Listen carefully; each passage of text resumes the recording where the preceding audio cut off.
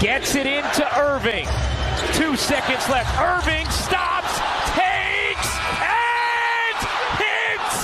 Kyrie Irving delivers the victory at the buzzer. One of the best buildings in the league is just stunned and silent. The space created by Kyrie Irving. Got it.